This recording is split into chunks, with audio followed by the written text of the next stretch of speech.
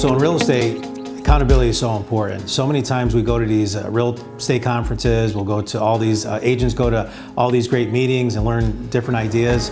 Uh, but the one thing that uh, I asked my agents not too long ago, I said, guys, do you want to learn more about stuff, stuff that you already know how to do, stuff that you want to implement, uh, or do you want to actually take action and execute on these? And by setting up the peer group accountability meetings that we've had uh, just over the last six months has made a tremendous impact on all of our agents, uh, those that participate in them.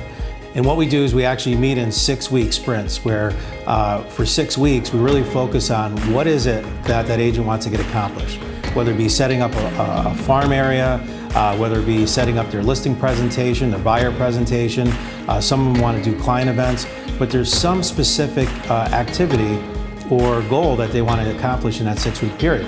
So basically what we do is we break it up, we take a look at what it's going to take to get to that, and then every week we meet and go over what are the top two or three tactics that they're going to do for that week in order to get closer to that six week goal. Because usually what happens is that it's a great idea, but you don't do it. Right. And then all of a sudden you have someone saying, hey, did you get this done? And all of a sudden, yeah, I got to do it, right? And yeah. get it done.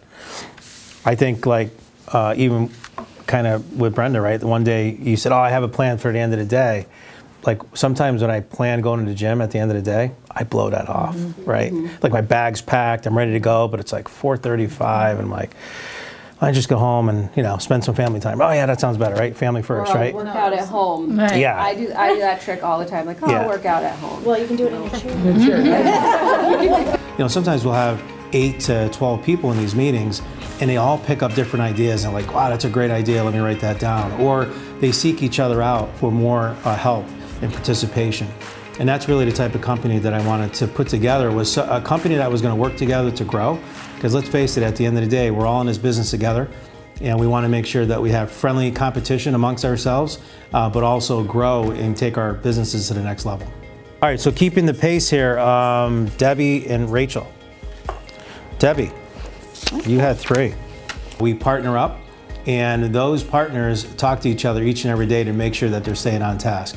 Because one of the things that we found is that you leave these meetings, uh, two, three weeks goes by and you come back, you're like, I didn't get anything done. But by actually having someone holding you accountable and having one of your peers hold you accountable uh, makes a big, big difference and has made a tremendous impact. Uh, back in 2012, I hired a, a coaching company here locally that worked with CEOs. And I wanted structure. I wanted structure in our accountability. I wanted structure in our team meetings. Uh, so I had a coach that I hired to actually come in every month and actually facilitate our accountability meetings so that I was more as a, a participant and not the one actually facilitating it.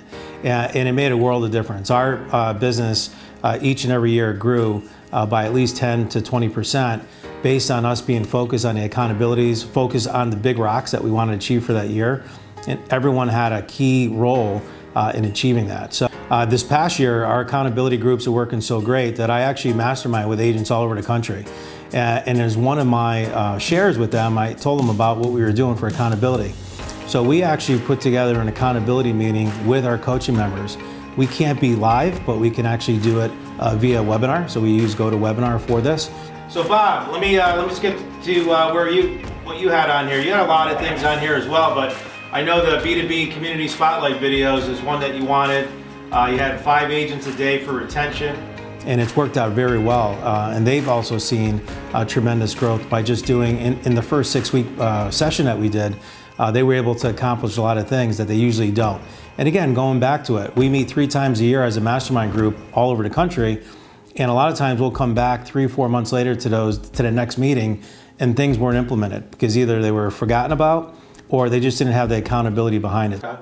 All right, well, you know, again, got momentum going. And um, we've done, uh, we're on our third accountability group meeting with our, with our uh, agents. And there's some agents that have been through it, you know, each time. There's some people that fell off. Uh, but the ones that have stuck with it over the last three times have had some really great gains. Uh, and it's just about building momentum, right? And, you know, what you do this six weeks and you want to do better the next six weeks and so forth and uh, that's how you build the momentum for these accountability groups. So, uh, well, great job, Bob. That's excellent you know stuff. Great momentum. Yep. What it what it does is um, it keeps your you know you feel like you're letting the group down, and it, keep, it keeps your mind on you know, instead of just like it's a thing that you're supposed to do, but yeah, but that's okay. So in that respect, it's like gnawing at me, you know, and. Uh, I always say though, being live and being in person always gives a, a different feel or a different type of energy. So my advice would be, no matter where you are in the country, pick a partner, pick an accountability partner. And this is why it works. I mean, think about, you know, everyone wants to have a great body and a six pack abs. So we hire a trainer, right? That's our accountability partner.